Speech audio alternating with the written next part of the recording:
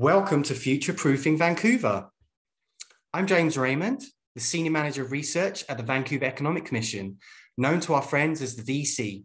For those who don't know, we're an independent agency of the City of Vancouver, and our purpose is to help build a prosperous, resilient, and zero carbon local economy for all. Thank you for taking the time to join us. I know we're on so many video calls these days, but we promise to make this discussion really engaging. So please feel free to put us on loudspeaker while you make your lunch or go for a stroll, or use this time to catch up on some emails. As long as you listen in, that's great. I want to first acknowledge the land we are on today. While we are dialing in from all over, many of us are doing so from BC, almost all of which is unceded land. For me in Vancouver, that is the unceded Coast Salish territories, specifically of the Musqueam, Squamish, and Tsleil-Waututh nations. I also want to recognise we have representatives from other First Nations on our panel today, notably from the Takla and Nlaka'pamux nations. I also want to acknowledge this fact through our content and conversation today, which will dig into topics such as economic reconciliation and what that means for our future. So here's the agenda for today. We're going to start off by giving each panelist five minutes to speak without interruption or slides to tell us about the big changes they see coming to Vancouver and our province, things we need to think about and what we need to do to prepare us for these changes. There is a Q&A later. Please submit your questions using the Q&A function at the bottom of your browser, and our event team will sift through them and group them into ones we can ask later on. We don't have a chat function on today, but I encourage you to use the hashtag FutureProof Vancouver if you'd like to talk about this event. Finally, please note we are recording this session, just in case anyone leaves their cat filter on or leaves amusing objects in the background and we can make this video go viral. I think I'm okay here. So please, if you'd indulge me for a moment, let's take a deep breath and imagine that we're in the year 2075. How does Vancouver and BC look? Is your vision a dystopian Blade Runner type image where climate change has run amok? Is Vancouver a haven for climate refugees? Or are we already underwater? Is it instead a reforested utopia where the buildings are made of wood and it's hard to tell where the forest stops and the homes begin? Flying cars ferry people and goods around our land. Maybe we've built out into the sea. Are we born in test tubes and our lives determined by genetic sequencing? Or who can afford CRISPR? Does AI rule our lives? I know this sounds far away or even far fetched. I've managed to reference quite a few science fiction films in that opening bit, but as we've seen in the last year, things can change very quickly. I don't know if any of you have seen the YouTube color video footage of Vancouver from 80 years ago, but if not, I recommend checking it out. It makes me wonder, what would the people in the, that video make of our city in BC today? Change is constantly underway and the rate of change gets faster by the day we are already being confronted with enormous current and future challenges, from the climate emergency to real and meaningful reconciliation to dismantling systemic inequality. We at the VC are responding to these changes by pursuing economic transformation beyond this event. And today we are proud to officially launch the Economic Transformation Lab in partnership with SFU Beedie and Mitacs.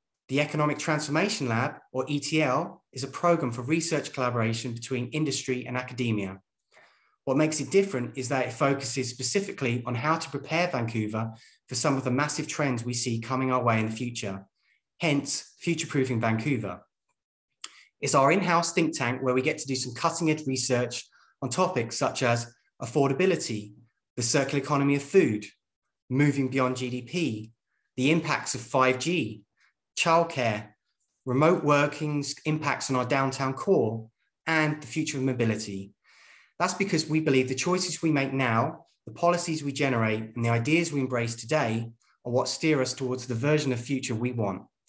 So I invite you all to explore the program in more detail once the event is over.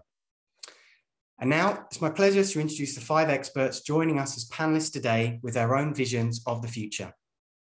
With us today, we have Regional Chief Terry Teegee from the BC Assembly of First Nations, Mayor Kennedy Stewart of the City of Vancouver, Mark Podlasly, an advisor to the BC Assembly of First Nations, Dr. Sarah Lubik from our ETL partners at SFU's Beedie School of Business, and J.R. Hammond from the Canadian Advanced Air Mobility Consortium.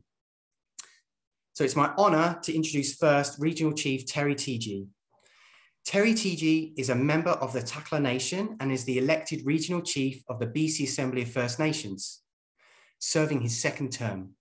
As Regional Chief, he was an instrumental voice in the development and historic passing of the Declaration on the Rights of Indigenous Peoples Act. He brings many years of leadership and experience as a former registered professional forester, responsible for looking after the forests, forest lands, and forest resources. Terry is deeply involved in natural resource development. Chief Teegee, we're honored to hear your thoughts on the topic of economic transformation, what that means to you in your context. Over to you. Masai Odesni James, and, and thank you very much for that uh, warm introduction and in uh, my father's language, uh, Daneza Tekuza skies, my mother's language, the Gitxsan dialect, Samoiga Tsimanana, we Uh, just want to acknowledge all the speakers here today, all the guests, and, and all of you that are watching on this webinar. Uh, first of all, I want to acknowledge the territory that I'm calling from, the Lheidli T'enneh territory, just in uh, outside of Prince George, uh, the community, uh, unceded, unsurrendered, and continually occupied territory of the Dakelh people here in Lheidli T'enneh. I want to thank the um, Vancouver Economic uh, Commission, uh, VEC panel, um, and VEC itself, and, and also the SFU uh, uh, Beedie School of Business for this invite to, to talk about uh, future proofing of Vancouver. So uh, certainly now uh, we've definitely experienced the, the issues with the economy during this past year. Uh, we're going into uh, really the anniversary of, of living through this pandemic.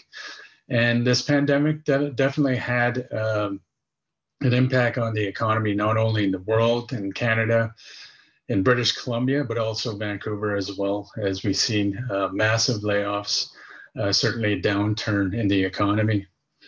And it can be said that it has been de- devastating to, to the economy. But I'd like to, to really put it in, in a different perspective that perhaps now is a time that, that it is really a reset. Over the last year, we've also seen the issues of uh, very chronic issues of the social inequities with our Indigenous peoples here in this country, in this province, and, and perhaps even in the city of Vancouver. So we're also living in a time uh, of reconciliation, an era of reconciliation, if you will. Over the last several years, we've been working on the declaration as law, and that was passed in November of 2019, which is known as the Declaration of Rights and Indigenous Peoples Act, DRIPA, if you will, Bill C 41 here in the province of BC. So, really, it's a time of change it's an opportunity for our Indigenous peoples to be more involved in the economy. We certainly do have our views in terms of how uh, the economy does not include the most marginalized people in this country. The, and really, the country that is Canada is a colonial country that has many policies entrenched with uh, racist attitudes towards Indigenous peoples.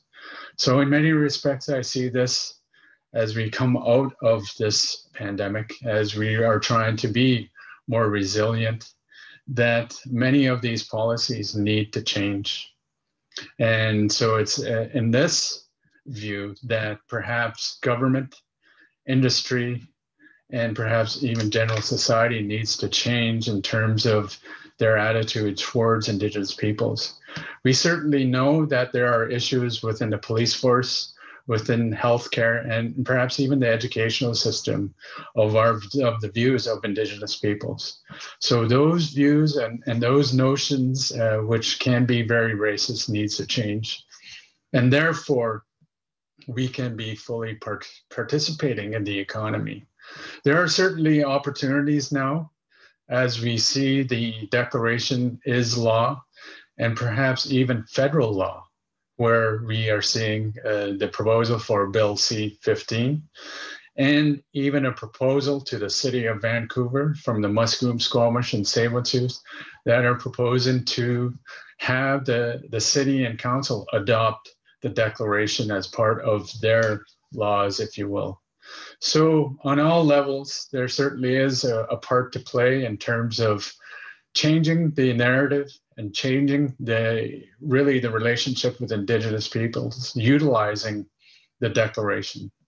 The declaration itself is quite simple. It's a recognition of indigenous peoples human rights.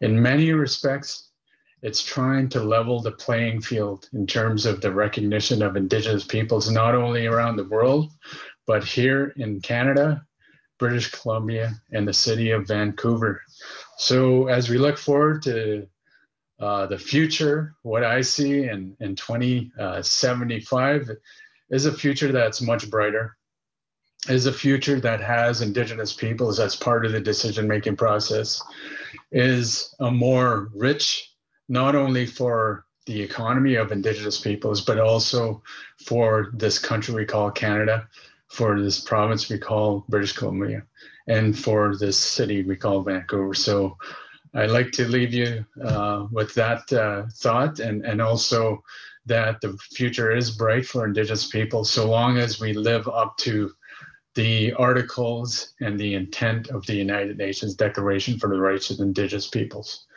Thank you, Masicho. Well, thank you so much, uh, Chief Teegee, for those really powerful opening comments. And I hope we can all agree that this can't be a recovery and we just build back what we had before. I think there's hopefully an acknowledgement that we've got to transform, and, and, and that's that's that's why we've used that word a lot today. Um, so with that, thank you so much. We're going to get into the declaration and what it actually means later on. But I'm now going to uh, pass over to Mark Podlasly, who's someone I know you've worked with a lot. Uh, so Mark Podlasly of the Nlaka'pamux Nation provides strategic advice at the intersection of Indigenous corporate governance and infrastructure issues. He has over 20 years of extensive experience in the development of capital projects connected to energy, natural resources, and community infrastructure around the world. He also serves as Director of Economic Policy and Initiatives at the First Nations Major Projects Coalition.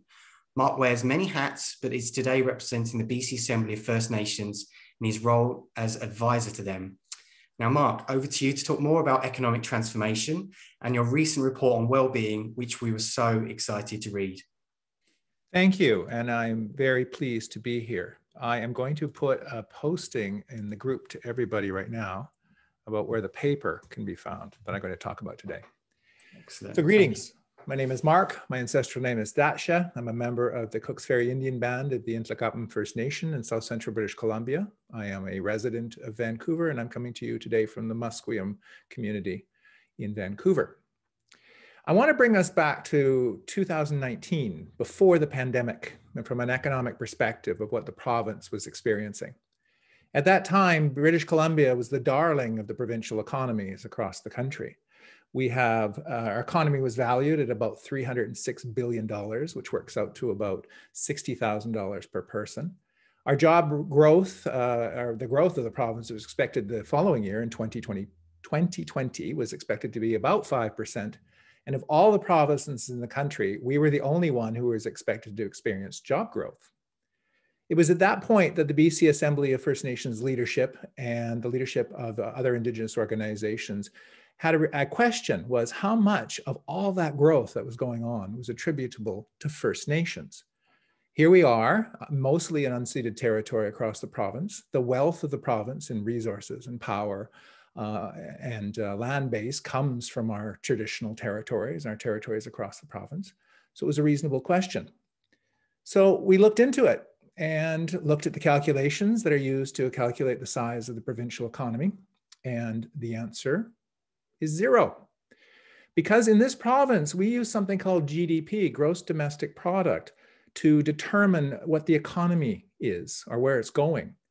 And under GDP, GDP is a 1930s era, the Great Depression, formula that was devised to measure national income. It was designed originally in the United States, but then exported to the world in 1944. And under that model, it is about production. It's a cash economy. If an, item in the province cannot be calculated as cash, either in a production of an, an item or of a service, then it doesn't count. So the challenge for us as Indigenous people was looking at that going, well, surely we must have some value to the province somewhere. So we decided to look at this a bit broader to see, well, what are other jurisdictions doing? What are other Indigenous people doing in terms of planning out their economies? Because if you define an economy as, uh, or a good life as, an, as the economic model of a formula based in the 1930s, as was quoted at the time, anything you can drop on your foot and nothing else, then we are a very deprived and poor population because I would sense that Indigenous values are shared by many people in Vancouver and British Columbia. If you define a good life as having safe families, uh, communities that uh, are resilient, education, uh, a knowledge of one's culture and history, an appreciation for wild uh, forests and places. What happened immediately after we began this project is COVID hit. And the good life, as defined by a GDP and growing numbers of uh, uh, exports to the pro- for the province's coffers, was turned upside down.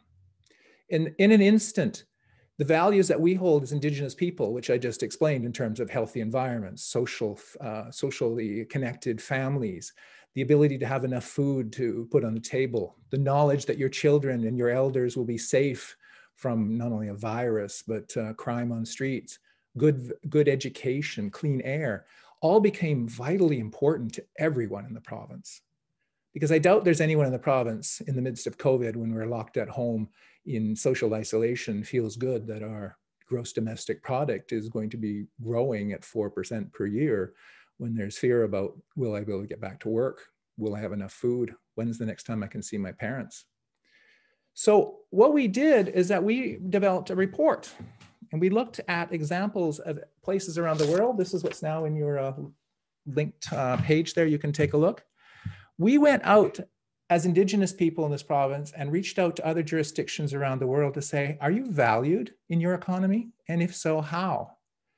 And what was fascinating about the exercise when we went out is that we found we were not alone as Indigenous people in this province looking to wonder where our value comes in the economic planning process we found 40 examples of economies around the world who were valuing the same things we do in this province in terms of uh, um, uh, healthy communities, healthy uh, education systems, environments, um, good work, sense of belonging into, into their nations.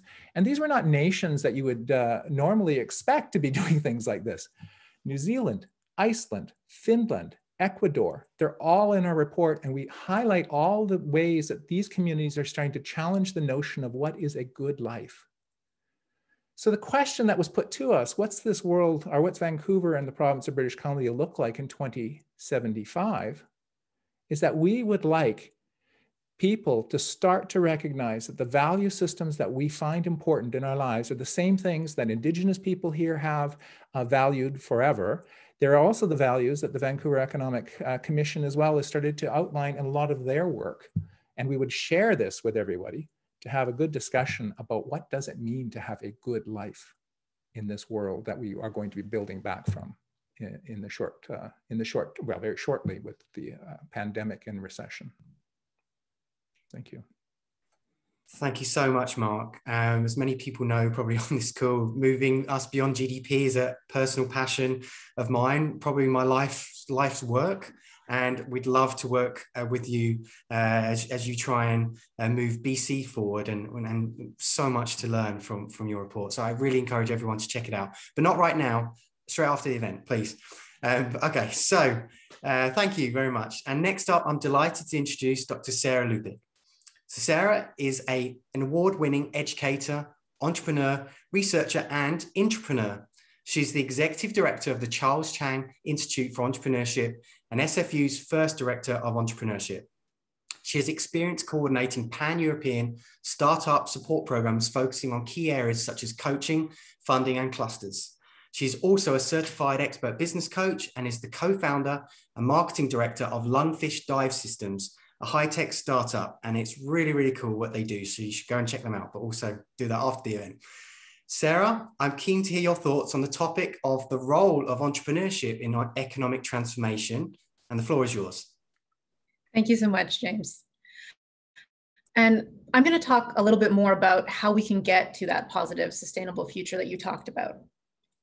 When I think about economic transformation and resilience, as SFU's Director of Entrepreneurship, absolutely nobody here is going to be surprised that I want to talk about the critical role of investing in entrepreneurial mindset. But what's likely to surprise you is that I'm not going to talk about starting businesses and I'm not going to talk about the latest technology. Um, in fact, looking at starting businesses and filing patents alone, similar to GDP, is not going to give you a very good picture of economic program uh, progress, health, or resilience. So, what's far more powerful is the concept of entrepreneurial mindset. And that's the way that entrepreneurs think and engage in the world. And the core components of that are resilience and self efficacy and opportunity recognition, which is around solving problems that matter and being able to identify places to make impact. And perhaps more importantly, and what I'm going to talk about a lot today, imagination. When you have that mindset, you'll get companies. But and you'll get very good companies that solve problems by the way but you'll also get scientists who can translate research into impact employees who can adapt to shocks and shocks are pretty much the only thing we can count on for the future right now and citizens who can drive sustainable change in their communities. So imagination which is tied up in systems thinking and future thinking uh, is what i'd like to emphasize today because that's the ability to reimagine systems that are cracking and breaking. Um, and that's only going to get more important. So there's a current tendency to either, around entrepreneurship, move fast and break things without taking the time to imagine and plan for the repercussions of our actions, which is why we can make massive change and then suffer significant consequences because we weren't thinking past execution focus. Um, or we make incremental change or no change at all because we can't think of what a better system would look like. We can't imagine how to get there. And critically, we can't imagine how to create enough buy-in of our communities in order to get that longer term drive and that longer term change that will last beyond the term of a politician.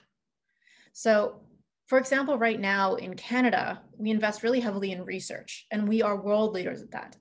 And we invest really heavily in later stage incubation and support of growth stage companies. But we are missing a really significant continuum of activity that happens between those two things. And we are missing culture problems, we are missing training problems, we are missing capacity problems to absorb the kind of talent that we create in labs and universities. And all of these issues are not simple and they're interconnected. And there's still so much more to do. And this this entrepreneurial mindset starts long before university. And so while we have systems that are cut up into chunks we often don't realize and don't think about them as interconnected. And so things like we're a university we're supposed to intervene when students get into university age. But one of the things we've done at the chang institute and sfu Beedie is to look at the part of the system before us and think well we think entrepreneurship is important. But universities don't give credit for entrepreneurship. And in fact, when students are preparing for university, they choose the courses that will give them university credit. And yet, entrepreneurship, until very recently, wasn't one of those courses. And so we wanted that mindset, but we also disincentivized anyone from going to get it. And so Beedie and the Chang Institute partnered with a program called Yell and became the first university to give high school credit for, or university credit for a high school entrepreneurship program. And so these are these are cool things that we can do, but we need that kind of how do we reinvent the system? How do we look at where those points are? Um, that will take us through to something new and exciting and being able to imagine that better future. So the point at the end of the day is to, to get that systems change we need to avoid that dystopian future that we talked about, we really need to think about investing people and human capability and people who have that mindset, who can make that system change and then reimagining our systems to actually achieve the outcomes that we want. Fantastic. Thank you so much for that, Sarah. Um, it's interesting because I've been talking to a lot of people recently about systems thinking, and um, it's uh, such a powerful concept uh, that I think we can learn a lot from. So, if we have time, I'd love to uh, discuss that more with you. Um, thank you. Anyway, uh, next up is J.R. Hammond. Uh, so JR is the Executive Director of the Canadian Advanced Air Mobility Consortium, the CAM. The consortium is a not-for-profit on a mission to design and implement a nationwide advanced air mobility strategy. JR is also the CEO and founder of the Canadian Air Mobility, which is a for-profit company advancing activist-based investments in environmental and social ventures within the Canadian advanced air mobility ecosystem. I will turn it over to JR to explain more and how his work fits into this topic of economic transformation. Excellent. Well, thank you very much, James, and good afternoon, everyone. And thank you to the Vancouver Economic Commission team for hosting us digitally here today from my location on the unceded ancestral territory of the Musqueam people. So as mentioned, my name is J.R. Hammond, and I'm privileged to serve as the Executive Director for CAM, which is our federal, not-for-profit Canadian Advanced Air Mobility Consortium. Now, we're really lucky to have our roots and foundation based here in Vancouver, which ties directly to our responsibility and duty for being the voice for the future of sustainable aviation in Canada with advanced air mobility. Our work at CAM focuses specifically on the advancing mobility industry, which brings new, innovative passenger and cargo electric aircraft to Canada. These new aircraft have the ability to take off and land vertically, think like your conventional helicopter, but also transition to horizontal flight, similar to your commercial aviation industry, as seen by your WestJet and Air Canada planes.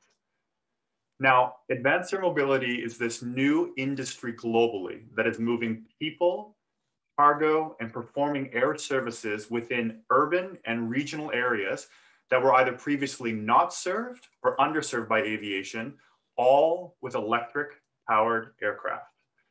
Now, while the drone industry focuses on smaller, remotely piloted aircraft, our work at CAM brings battery and hydrogen fuel cell planes with the ability to fly larger amounts of cargo, up to two hours in duration, with six passengers and a pilot on board utilizing today's technology. This is similar to a flight between YVR Airport in Vancouver, that of Kelowna, or in Seattle with proper safety reserves for the energy requirements. Now, what do these aircraft actually look like and where are they flying in the world? Well, CAM is working with world-renowned car manufacturer Hyundai who have developed their eVTOL, or the electric vertical takeoff and landing aircraft, for use here in Canada. Other areas such as Dubai, Singapore, regions of Florida, and the city of Los Angeles are progressing towards these eVTOL operations as early as 2024. Now, this is not exactly the modern day version of the flying vehicle cartoon, The Jetsons, however, very similar. Now in Canada, and specifically in the Metro Vancouver area, these aircraft are to, intended to be used in three main areas. Number one, on the performing of air services. Think of how we can move emergency first responders to the scene of an accident quicker and more efficiently with an electric aircraft. Secondly, on the cargo aspect, how can we move critical, time sensitive medical materials such as vaccines, blood, organs, or cancer-fighting isotopes across our urban and critically to our remote re regions of the province with an air solution rather than a conventional ground solution. And lastly, on the movement of people. How can we move more people from point to point with electric aviation that doesn't require additional ground infrastructure of tunnels, bridges, or continued roadway expansion? Now, we at CAM know this advanced air mobility industry is developing rapidly and quickly already around the world and beginning here in Canada. Our fundamental mission is to be the catalyst for bringing thought leadership in order to ensure the equitable, inclusive, and sustainable development of our resources for the future. With that, we look to the incredible work and leaning into opportunities with the City of Vancouver's Climate Emergency Action Plan, on understanding the decarbonization of transportation and the mix for development of our 15 minute city. And similar to the Moving in a Livable Region partnership led by the incredible Shauna Sylvester and Jude Crasta, how do we find air mobility as an intermodality mix in conjunction with our existing public transportation of the future? This all combined with the privacy and security aspect. We know that the future of our air solutions cannot take away our beautiful blue skies of British Columbia and Vancouver, nor can this technology be a congestion shift from ground traffic to that of the sky. CAM is here to explore these difficult questions today. CAM is here to make a difference. And with that, we'll transition back to our question and answer side. Fantastic. Thank you so much. Everyone's being uh, very disciplined on the time. That's perfect. Um, but, you know, one of the great things about working at the VEC is we get to meet really fascinating people from all over the world. And also, more importantly, for our perceptions to be challenged. And I remember uh, the first connection with JR, you have a certain perception where you hear about this. And I know we're going to dive into this a little bit more later on. But it's really important, I think, for us to listen to others and actually, you know, maybe challenge our own preconceived ideas on what this thing will be or that technology. Anyway, thank you so much, JR. Finally, I'm honoured to introduce Vancouver Mayor Stewart. Since his election in October 2018, Vancouver Mayor Stewart has prioritised building partnerships to deliver the, the housing that Vancouver needs, tackle the overdose crisis, and invest in transit to build sustainable and walkable communities. His career in public service includes being a member of parliament from 2011 through 2018, he holds a PhD from the London School of Economics and has written and taught on public policy, citizenship particip participation, democratic reform, and municipal governance. Mayor Stewart, please share with us your thoughts on the topic of economic transformation. And if there's time, perhaps any reflections, any quick reflections you've heard um, so far. Thank you so much, everybody. And I'll uh, apologize in advance. I have a very active puppy in the background, so if you hear some barking of, uh, it's it's just a cheerleader that uh, that I brought in to uh, to help our event here. Uh, just want to thank uh, everyone who's participating, as well as the organizers, of course. Um, want to acknowledge that we are on. I'm on the unceded traditional territories of the Musqueam, Squamish, and Tsleil-Waututh people, and thank them for their generosity to all who live, work, and play in the city of Vancouver. Um, there are three things I want to highlight in my, in my time here, about five minutes. Uh, housing, as mentioned, uh, reconciliation, and uh, transportation connections, or uh, any kind of connection, really. Uh, but first, uh, I just want to talk about um, a mindset that I think we have to adopt here in the city, is that Vancouver is a global city. And I think it's an important thing to say, although we, we kind of talk about our place in the world, uh, you know, when it comes to things like Olympics and other other events. Uh, really, I, I, don't think it's something that's uh, in our fiber, as to say something. Uh, you know, if you're a, um, a resident of London or New York or or even Toronto, uh, who firmly think themselves as, as global cities. Sometimes I think we've got one foot in, one foot out here in Vancouver. Um, but we are. Uh, just for an example, uh, Vancouver is a, is a member of C40, uh, which my uh, predecessor, Gregor Robertson, uh, had the great foresight to, uh, to get us into as an innovator city. So where we're not the same population size as, as the other cities I mentioned or other mega cities, we're an innovator city. And, and I think that is, is so important because there's really two types of global cities. the first is the city that I want us to become, which is a globalist city, is that the things we do here impact the world. It's uh, we are innovating by cooperating uh, among ourselves, but then we have such an impact that uh, other people around the world are watching what we're doing, and I, and I think we already do that in some ways, whether it's uh, on climate uh, change policy, uh, reconciliation, um, or how we deal with with drug usage here, and lots of others. But the second type of city is uh, a globalized city, and that is a, uh, a city that's, uh, of course, in the world, but really the world sets the agenda of the city, whether that's through uh, the movement of capital or um, or, or other uh, other means that to kind of set our agenda. So we uh, and this panel is very distinguished and has some great ideas. And I think that, that what we do here in Vancouver, because we're a little smaller than many of the other global cities, uh, we're quite flexible and, uh, and nimble. So we can innovate, and that's very important, and I think ties into the, the theme here. Um, so I'll go into my uh, the three issues that I just wanted to bring up. Um, the first thing is, is housing for our workforce. Uh, we really have to get serious about uh, how people are, are living in the city and uh, I would say not affording to do so. This has an impact on everything from mental health to productivity to uh, the ability to, to grow our economy and innovate. Um, it also will have some impacts on climate change. And so we really need to make sure, and this ties into the 15 minute city idea, that um, we make we got to make sure that people who uh, who work here can also live here. Uh, one example is uh, many of our first responders uh, uh, live outside of the city, which is with as few as 10% living within our boundaries, which is not great if you have earthquakes and, and other disasters. So we want to make sure that, that people can also raise their families here and not just visit for a part of their life and then move move elsewhere. We, we need to make sure that we're building the type of housing that builds complete communities, and not just from um, uh, an economic perspective, but also from a, a multicultural and, uh, aspect, is that we are, our communities are mixed in all possible ways. And I think that is one way we can lead the world uh, by doing that. Uh, we are doing that by innovating, uh, recognizing that we're mostly a, a, market economy here when it comes to housing. About 95% of our housing stock is privately owned, but uh, that is working with um, both international and local uh, uh, financiers to make sure that we are building housing for our workforce. And we've done that through programs like our moderate income housing pilot program.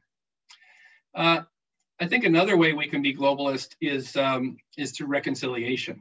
And every council meeting, uh, we do in a land acknowledgement at, at the beginning of the meeting. And that's, I think, a very important first step. But then I think what the city has to do is actually change the way we use land to, to match uh, our goal, reconciliation goals. So first, it's important to remember that uh, that Musqueam, Squamish, and Tsleil-Waututh are the uh, combined are the biggest landholders in the city. So they're already an important player in that sense. But uh, but also there is the uh, obligations that we have to non-host nations uh, that are important to consider as we all try to figure out together what reconciliation not only means in theory, but but is lands in practice in our city. Um, so really, we are uh, shaping the future together uh, step by step. So I, uh, I, give an example of Senakw, the uh, Squamish proposal for lands by the Burrard Street Bridge, uh, where of course I've given my full support to, and uh, and also trying to work with with council and all members involved to make this a roaring success of what I think will be a, a landmark of, of how reconciliation moves forward in practice. Musqueam also have lands. Uh, we talk uh, very often, uh, the highest priority in my office is to have uh, monthly meetings with uh, the leadership of the three host nations to, to understand where we can uh, help facilitate their goals and try to work in partnership as closely as possible. So um, I guess my last job, and I learned this in Ottawa, is that people in the rest of Canada don't really get what it means to live on land that is not uh, does not have treaties, uh, essentially stolen land. And what that means, in, it, it, changes the entire dynamic of, of how we do things together. And uh, so I will continue to be a, an advocate and educator uh, in Ottawa, essentially, when it comes to how we work that all out. Um, uh, the last thing I'll talk about is connectivity, uh, which is so important for, uh, um, for our, our, economic growth uh, beyond GDP, from what I'm hearing but also in innovation. So we have, for example, the Broadway subway, which is underway, but I don't see this will be truly finished until it makes it all the way to UBC. Uh, and this does a whole bunch of things. It, uh, it will increase our productivity and, and uh, economic growth along uh, the busiest transit corridor in Canada, but it also unlocks reconciliation um, opportunities with the uh, Musqueam, Squamish, and Tsleil-Waututh owned land in Jericho. So um, uh, also generating local jobs uh, in neighborhoods that essentially in many cases have hollowed out and need to be uh, slightly reimagined. So um, this will connect one of the world's best research university to hospitals, job centers, and the rest of the region. But what I'd really like to see and what we've talked about uh, prior to the pandemic is uh, connecting um, Cascadia is to work on this idea of a high-speed rail line that would uh, that would connect uh, UBC and the downtown to Seattle, Portland, and LA via via high-speed rail. So if we're thinking about um, 2075, this is what we could think about: a researcher starts the day at UBC, uh, takes the train to Seattle or LA to pitch the next uh, billion dollar idea, and then returns home uh, to their affordable housing to uh, have dinner with their family. And I think um, this is all possible. Uh, and I don't think 50 years from now, I think we can get to this sooner, especially when it comes to uh, of housing affordability here in the city reconcil and re reconciliation and, and other connections. So uh, I'll stop there, but uh, I want to thank you so much. In terms of what I've heard, um, I like what I'm hearing. I, I think I've already had my uh, different synapses in my head were kind of firing as I listened to the various presentations of this distinguished panel.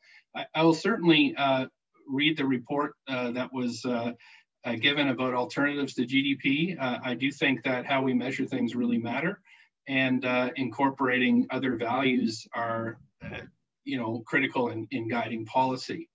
Uh, the um, so I'm I'm interested into uh, in hearing questions from the audience and and look forward to hearing more from from the panelists. So again, thank you very much for the opportunity and back to the moderator. Thank you, Mayor Stewart. Um, so let's get everyone else's synapses firing with some really uh, good questions. Um, uh, some of these have come from you, the audience. So thank you so much for the people who submitted those. Uh, we've tried to group some questions together and prioritize ones that work for more than one panelist. And if you haven't submitted a question but would like to, please submit your questions to the Q&A feature at the bottom of your browser, but keep them short and sweet. And I can see there's some fantastic questions coming in already. So thanks for that. Keep it up. We'll try and get through as many as we can. Okay, so first question uh, to Chief Teegee. Um, what does economic reconciliation mean to you? What will true economic reconciliation look like in practice? How will it positively impact our future? Well, I think economic reconciliation is a recognition that First Nations have uh, rights to re resources. Uh, you know, my background is forestry, and much of what Canada and British Columbia's economy is based on is in natural resources. So, uh, you know, justice, equality, and fairness and access to those natural resources is required for Indigenous uh, people to prosper. And, and these things are have been, uh, in many respects, been been uh, argued over, uh, fighting over, whether it's in the uh, on the land, as in roadblocks or in the court system. And it has been proven as uh, really that we do have rights to these natural resources. So uh, whether it's a, the Chilcotin court case that acknowledged title, uh, or if it's uh, you know really making arrangements through, through modern treaties or reconciliation, comprehensive reconciliation agreements. So I think in terms of really being practical and, and, and changing into uh, dollars and cents. So, so I think for Indigenous people such as Vancouver, the Musqueam, Squamish, and Tsleil-Waututh who don't have a treaty and who don't have a, a real arrangement with the, the province of BC, it really opens to uh, First Nations in, in Vancouver to have that uh, ability to to make those arrangements with the, the federal government, the provincial government, and, and even perhaps the municipal government to to create those ar- arrangements so so they can be a productive and and perhaps really assert their own ways, views, and ability to to have really a uh, sovereignty and self-determination in the economy, and and that's the real purpose of of, of reconciliation and, and perhaps even the really uh, enacting the, the, United Nations Declaration. So that's essentially it is is a recognition of, of equality and justice for Indigenous peoples in this uh, province. that. Mark, would you have anything to add to that? I agree completely. I think as we start to move towards UNDRIP, which is uh, the United Nations Declaration of the Rights of Indigenous People, that is going to be a transformational point for this province it's it's it's it's it's evident that BC is leading in this. The federal government is modeling a lot of their progress on UNDRIP that's happening in British Columbia. And I think Terry Teegee is right, is that Chief Terry Teegee is right, is that as we go forward, it will be the driver for how we reimagine our societies going forward of fairness and inclusion, of socioeconomic uh, development, even, even how we develop the province. Thank you. And Mayor Stewart, um, would you have anything to add as, as Vancouver is a city of reconciliation already? I think that um, we're, we understand how to uh, interact with um, and to work with host nations.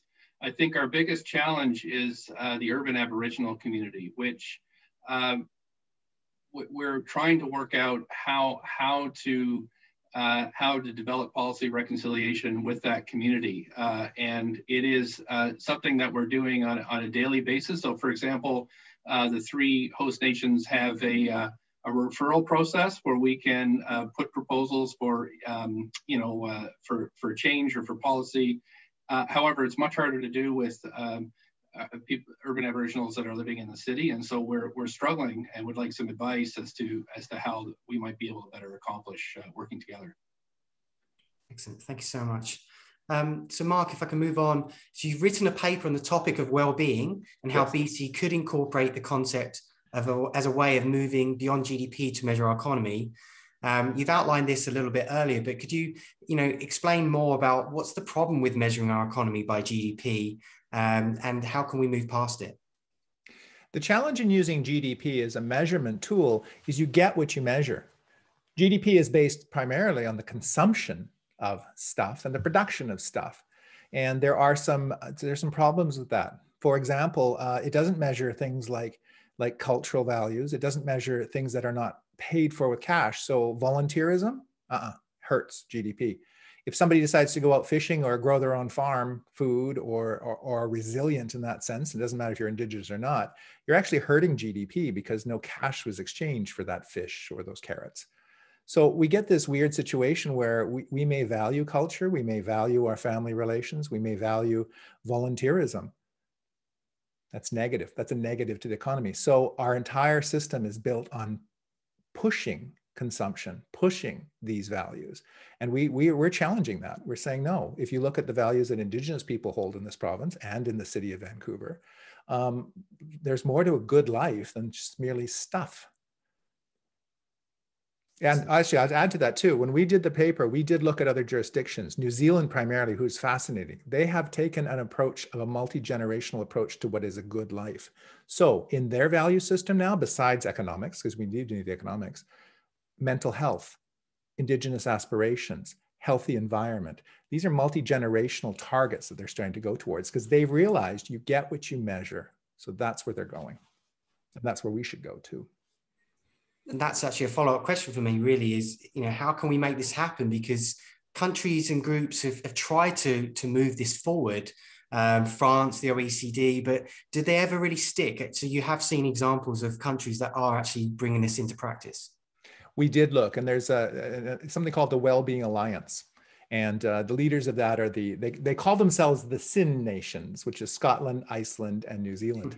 Uh, they are trying to pursue it and they are putting those in place where they're doing the metrics to say this is how we define success by our terms, our own values.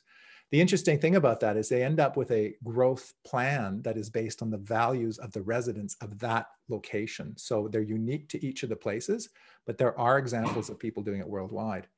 The other thing that is in the report we found when we were comparing economies, BC's economy, which I mentioned $309 billion last year, is about the 50th largest in the world. We're just ahead of Greece and New Zealand. So if countries like New Zealand can do this with smaller economies than we have, with very similar values, why can't we do that? Mm.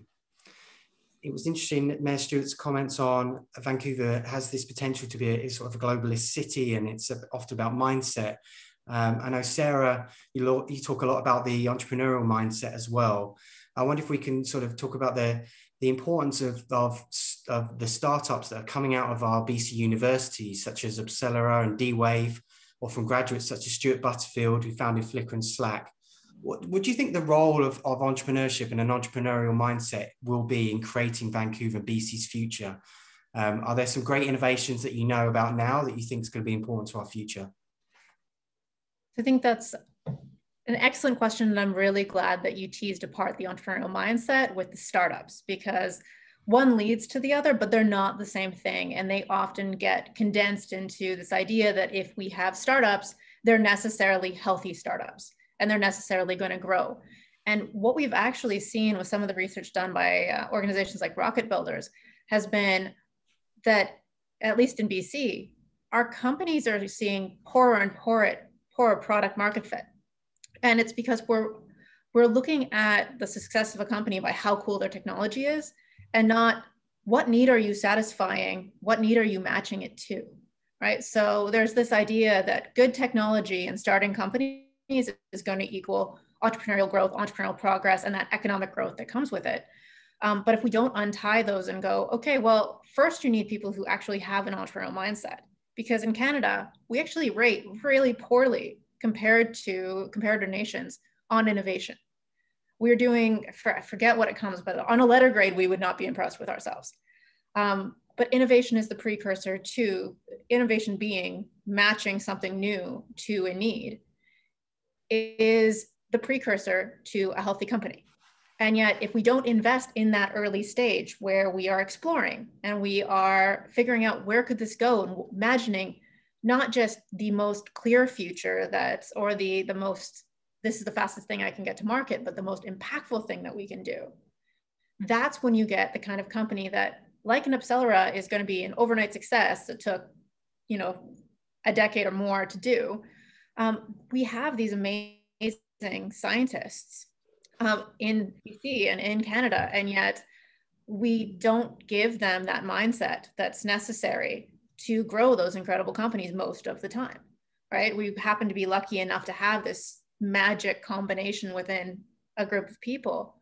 But like I said at the beginning, these are all, all of these components like resilience, imagination, et cetera, are things we have inherent as humans, but we don't spend time building them, unlocking them, et cetera, which is why we're not getting those company as, as many companies as we could if we spent time unlocking those. And then if you have those companies, then you need scientists who can work in them and understand what keeps the CEO up at night. And you need more of those coming down the pipeline. So you need scientists that are looking at how they translate what they're doing into impact, until into long-term growth, how they can deploy it for challenges that we have. And so we really need to be investing in that human capacity and realize that that's how you're going to long-term get those uh, companies. And those companies can be, I'm going to talk specifically about science based companies, but the great thing about science based companies is they want to be by the UBCs and the SFUs because that's where all the awesome ideas are coming from. And so if you invest there, you get the technical term being stickiness um, of geography, where more and more people want to come there and help you grow and help you solve those problems. And so there's significant long-term impact that comes for that but if you have visionary leaders that are willing to invest on that time frame. Well, thank you for that, Sarah. And, and, speaking of visionary leaders, JR, perhaps if I could pass over your thoughts for, on the entrepreneurial mindset, because you know, in effect, what you're trying to do is overhaul the aviation industry, which must be pretty difficult. So, could you just speak to who's the kind of people you're working uh, with, and what kind of mindset you need to to to take take on the work that you're doing? Well, no, and that's just taking from the macro perspective there, James, and really bring it to an industry specific one. The global pandemic has absolutely rocked the aviation industry to its core. And this has really created a unique synergy for this great awakening or bridging new skies with a technology such as electric aviation. And it comes down to, you know, some key ingredients that are already here in British Columbia and specifically in Vancouver Number one, on the sustainability side, having the clean BC from the provincial government, as well as the climate emergency response here in Vancouver, there is a framework that's specific to the ground infrastructure and transportation that we are building into that sky piece. Secondly, on the geography side, how are we leveraging existing operations of our helicopter and local uh, float plane providers on moving the people, goods, and services over water and connecting that Cascadia Innovation Corridor that uh, Mayor Kennedy spoke of um, between Vancouver, Seattle, and Portland, and as well of our operations piece. Look no further than YVR on their 2021 strategic plan, knowing that the climate is at the top piece of that new strategic plan, and also on TransLink's Transport 2050 goals. How are we really focusing on that inclusive, equitable, and resourceful next transportation mix that gives us the opportunity to start stacking new technologies on accomplishing those goals. Thank you. And, Chief Teegee and Mark, I wonder if you could comment on the, the, importance of First Nation entrepreneurs. And it makes me think of a question probably back to Sarah afterwards is who becomes an entrepreneur, right? Because there's a real challenge in it's a certain person that is able to get on that uh, train and, and, head down to LA and, and, raise that kind of money. So Chief Teegee and Mark, would you want to talk on that topic of First Nations entrepreneurship? Well, I think in terms of entrepreneurship, like anything else in this country and, and, and this world, is that it's very exclusive and and for indigenous peoples just to, to get into some of the marketplace, it's it's a it's a huge challenge. And and I think you know it's it's um, you know the whole the the issue with Vancouver is that uh, if I could be quite frank, is that it's very exclusive. It, it's exclusionary. It's it's a place for the rich on one hand, you, you have the, the poorest um, zip code, or if you will, postal code in the downtown east side, and, and 20 minutes later, you have the British properties and, and probably the most expensive uh, real estate in the world, if not, you know, at least Canada. So, you know, this dichotomy really is um, exclusionary for, for not only the poor, but uh, also Indigenous peoples, and, and noting that there's a huge uh, uh indigenous uh, uh, group within the uh, downtown east side. So so there's definitely challenges there, and, and that's a challenge with with with Vancouver itself is that being a global city, it's it's the the marketplace. And also the real estate is being driven up, so it excludes a lot of indigenous peoples and a lot of the poor people. So, so that's that's really a product of, of what's wrong with the, the world right now is that gap between the rich and the poor is widening and getting wider and wider. And we've definitely seen that in this pandemic. And, and really that's the problem here with with the world. And, and it has uh, real dire consequences because as we see uh, people uh, having uh, really uh, an economy that um, that is exclusionary the, the more people that are poor especially indigenous people around the world, it has dire consequences because really people end up dying, and uh, and and that's a really big, huge issue.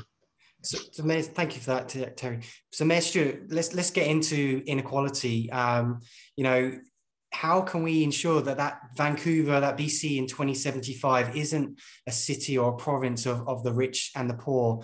Um, I was listening to just Richard Florida yesterday, and he said pretty much after every pandemic, there's been huge inequality, and it was bad before, as we know, with Occupy movement.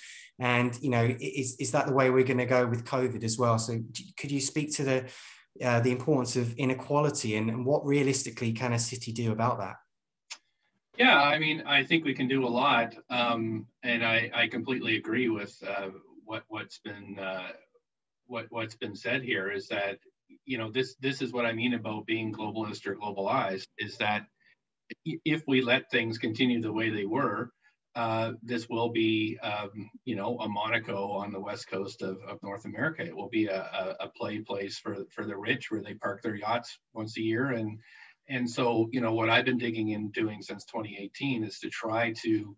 Uh, I think it all comes back to housing affordability, or uh, you know, it does come with jobs and incomes. But one thing we can tackle here at the city is housing affordability. So you know, what one thing is we've, um, you know, for example, tripling our empty homes tax uh, was uh, an innovation here in Vancouver, enabled by the provincial government, but then now picked up in Toronto and other cities. Is that if people are going to park their money here in, in empty homes, at least we take uh, a slice of that and then reinvest it into uh, affordable housing, uh, especially those with the most need. Uh, the, the real, I think uh, now that we have the federal government back at the table uh, and the provincial government back at the table with investment in social housing, um, I think at latest count, we're at a thousand units of, of, social housing coming online and um, approved and, and shovels in the ground already started. So that, that begins to make up the deficit. But uh, we've got a long way to go on that front. Uh, you know, um, I uh, we got about $50 million in direct investment last year on this rapid housing initiative. And just to put that in perspective, that that's an equivalent of a 6% property tax hike for us. So um, I, I, think we need to be realistic that that kind of that kind of housing that that is really uh, heavily subsidized needs to come from senior levels and it needs to come from from um, you, you, know income tax pools. However, on the city level, uh, what we can do is work with investors. So, for example, those who want to build rental housing, we can give more density and we can build things like uh, these MERC projects, which are we approved one last night, uh, six-story um, rental building in Kitsilano. 20% uh, of the units are uh, are vacancy controlled, so their rents never increase over the life of the building. Uh, and um, you can get a, you'll have a, a, studio apartment for 950 bucks a month. So we are now working with the capital that's coming in here to say, if you want to build your buildings, we can accelerate the development, uh, the, the, the, permissions, we can give you more density, but you have to build in uh, these guaranteed income level units, which is starting to move people into neighborhoods they could never be before. So, so th that's an innovation, um, and lots of other cities are starting to look at it now. So, so I mean, for me, it, it's how do we uh, bend the market essentially? Because I, I don't have enough money to to build uh, all the housing that we need. I need the federal and provincial governments to do that. Thanks for that. Um, so on, on, sort of the topic of, of innovation, I want to come back to, to Mark on this. Um, how does innovation and startup success tie into the needs of First Nations people, and especially in a world where success is not measured by GDP necessarily?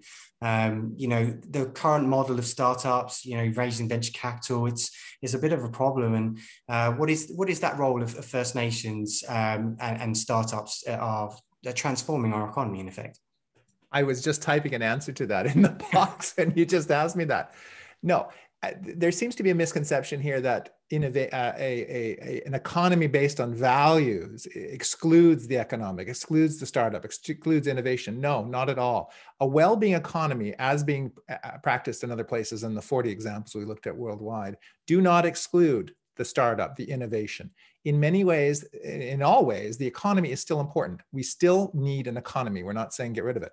What we're saying though is how we measure success should be changed. So it includes more of the values that are in the people. And I would like to point out that yes, I'm here as an Indigenous participant, so as the regional chief, but we are still citizens of British Columbia. We are, I am a citizen of Vancouver. I have a vested interest in the success of our entire community, not just Indigenous people. So, from the sense of what's going on, back to what was earlier, is that Indigenous people are involved in startups, are involved in innovation. It is difficult, but it is happening. There's programs like at SFU, the Beedie School has a program, uh, Indigenous uh, Values MBA program. There is uh, programs at the University of British Columbia that encourage that through the Ch'nook program, and now Sauder is moving into that as well. But the innovation and startups, if they are based on the past economies that we've had, which have been consumption or are carbon intensive, those are a problem. But a society that's moving towards valuing a zero a, a, zero carbon economy like the aviation industry or even on smaller scales that's where success is going to happen and the innovation we require is about blending our values that we hold dear as a society in relation to the environment, in relation to other people, and the companies in the future will come through that. The discussion, I think, would be better focused on what values do we want to encourage in our economic planning in the future that we're laying out, and then how our young people start to move towards being innovators in that space. Fantastic. Sarah, you know, I have to jump to you on that one. How should we be measuring uh, our startups, our innovation, our, our entrepreneurs? What like what should they be measured on? Right. So this is a really big question, and it's probably its own panel. But I'm gonna gonna give it a shot to at least try because I very much echo what what Mark was saying, and I realize, uh, forgive me, I talked about and acknowledged what land I was on when we introduced ourselves, and I haven't done that publicly. Um, so I think it is really important because it is so important in innovation to have those shared values and also to acknowledge what came before you. So I'm on the Coquitlam, Musqueam, Tsleil-Waututh, Stolo, and um, Squamish uh, unceded territories. Um, so with regard to your question on measuring innovation, one of the one of the most important questions we can ask is who can participate? Who have we put up barriers to participate? And what does that mix look like? Because I, I talked earlier about having this problem with product market fit, and that comes with not understanding the people who you're trying to innovate for and having a really, you know, old school view of I will make a widget, I shall sell a widget. Like Mark was saying, I shall make a thing that I can drop on my foot versus I'm here to solve a problem. I'm here to solve a problem that's affecting enough people to make a sustainable business. And there's so, and it's so important in that case to be honoring the views of the people you are solving problems for, and also finding ways to look at the world and those problems with new lenses. And so if we look at, okay, well, from a university standpoint, you know, how many people of whichever group are participating in our programs and then going, okay, so why not? Um, are you are you making people feel unwelcome? We recently we recently started a, an EDI stream within our um, Entrepreneurship Institute, and one of the first questions that was posed was, "What's stopping people from chasing their entrepreneurial dreams?" And you know, we have this vision of the entrepreneur who, you know, lives in their parents' basement, only lives on ramen, and like uh, mortgages their house or uh, sells their car. But even those things suggest that you had you had the car to start with. You had the parents who can afford to keep you in the basement.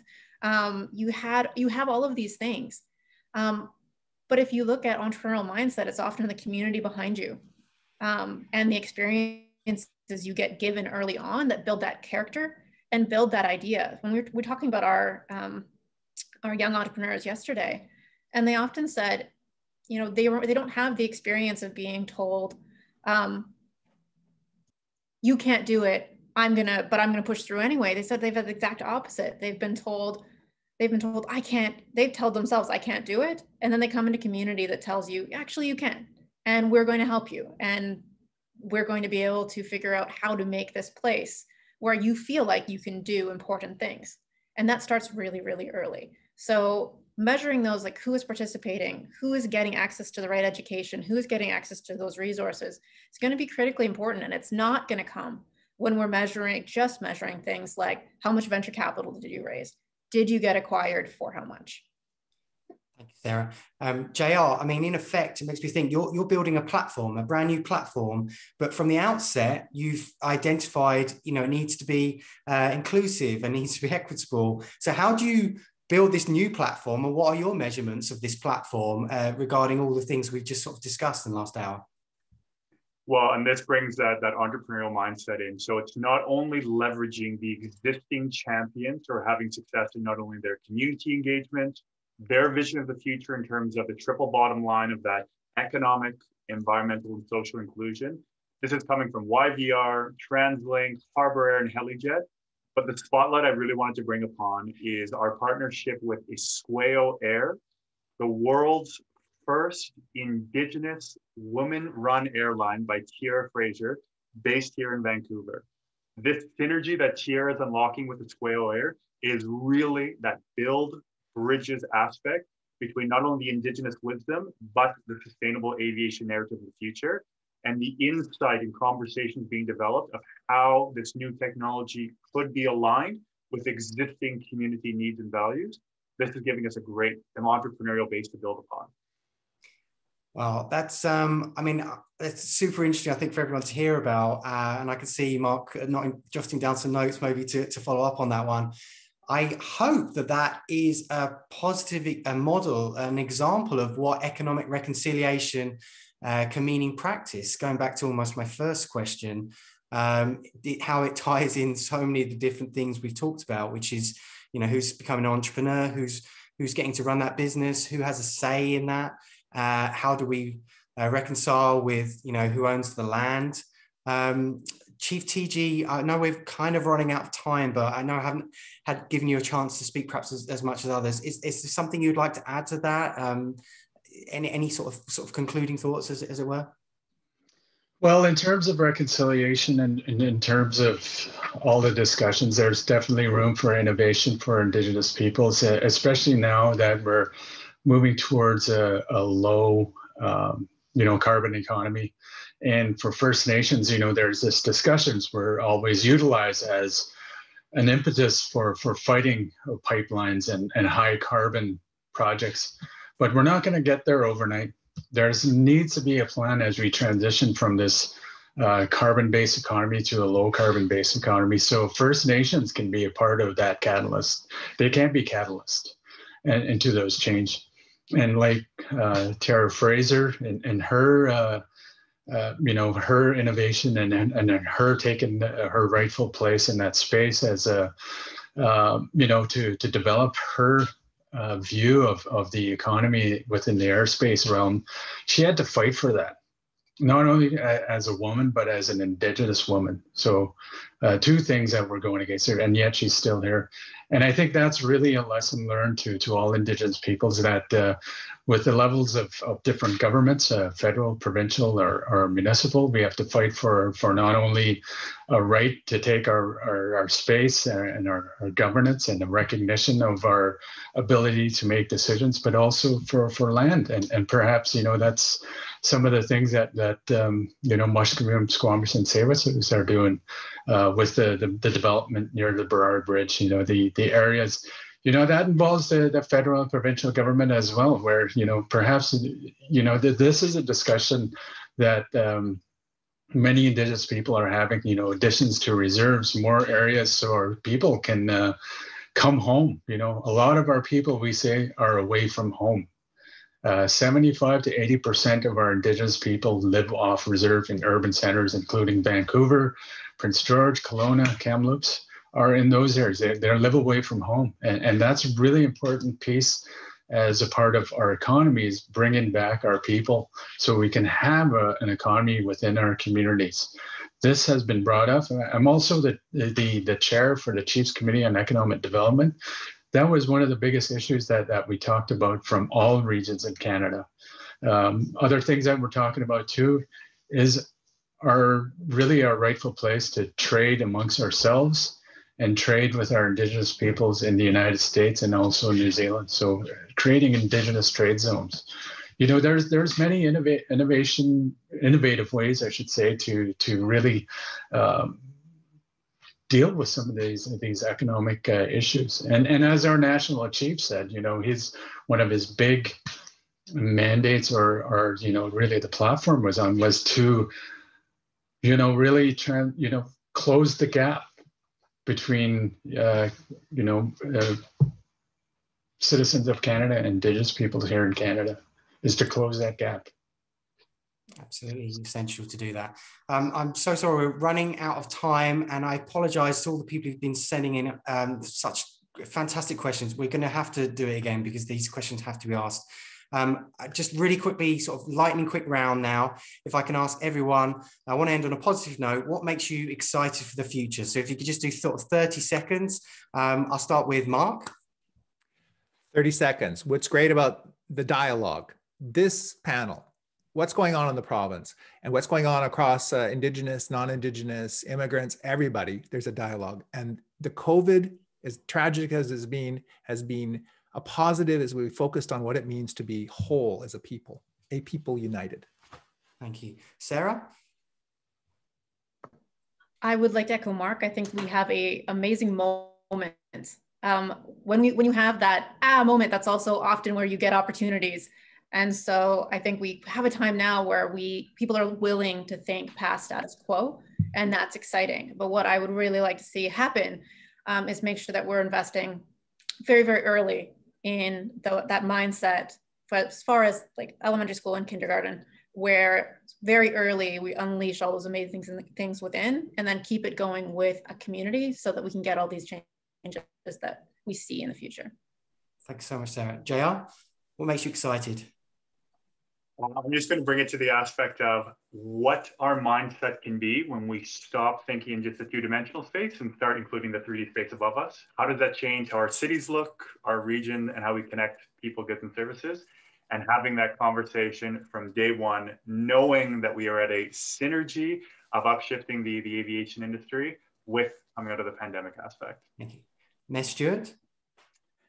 Yeah, uh, well, thanks uh, everybody for your thoughts today. I mean, what excites me about uh, the future is, is Vancouver. Um, you know, as acknowledged, there are a ton of housing pressure here, and the inequity is obvious.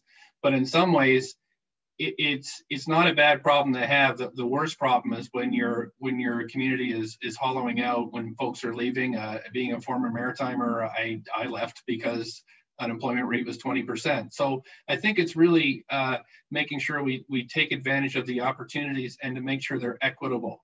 Uh, so what we're finding through uh, some of our social housing audits and is that they're they're not equitably distributed, and I think that uh, speaks to the regional chief's point of view about about how we uh, include people, and that's the challenge ahead. So how do we, you know, we, have got lots of interest here in the city.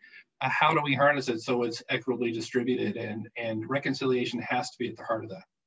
Thanks so much. And Chief Teegee, uh, would you like to conclude? Yes, you know, we're living in a time of change, the age of reconciliation, and also now there's legal precedence in terms of the United Nations Declaration Rights of Indigenous Peoples. It's law now in British Columbia, and potentially this will be law in Canada as one of the first countries in Western society to adopt it as law. And now, for the first time, we have not only our human rights recognized, but also our Indigenous rights recognized, and, and this really will be a, a, a, time for change for indigenous peoples for the better and i and i see in the next five ten years that perhaps this is the most significant and substantial change we'll see in, uh, for indigenous peoples in this country thank you Thank you so much. So a huge thank you to all of our very busy, very in-demand panelists for giving us their time and expertise today. We've covered a lot of ground and hopefully it was new ground for, for the audience and you've learned something interesting. Um, I think what I heard clearly today is there are massive changes already underway that are affecting our lives. Um, and yet we need all of society to contribute towards that, to generate the data, to work on the policies, the startups, uh, and generate the ideas that will help us steer, help steer us towards the, the version of the future that we all want to see. Um, so as I mentioned earlier, it's for these reasons we are launching the Economic Transformation Lab today, along with our partners and co hosts SFU. Uh, some of you might have seen our affordability guide, which is already up there. And if not, I recommend you check it out. Um, and here's the link uh, on screen. Um, you'll also be able to learn about all the other projects I mentioned, along with how you can get involved and how you can submit our next research idea. So with that very cheeky plug, um, I hope you've enjoyed today's webinar. Special thank you to the team at SFU, especially Dana and Edna for running the whole show today. We couldn't have done it without you. Thanks again for listening and for your time.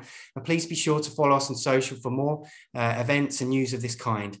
Um, and as I said, I think we're going to have to turn this into series because the questions are really stellar. So thank you so much for those.